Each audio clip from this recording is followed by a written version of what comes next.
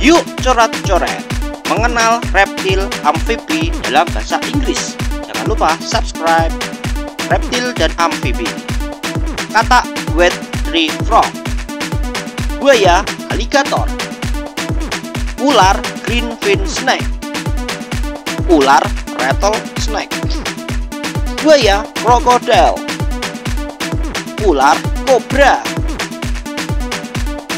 alpine newt, ular sinalon milk snake, ular piton, kata hornet hornet tooth, sea turtle, belajar menyenangkan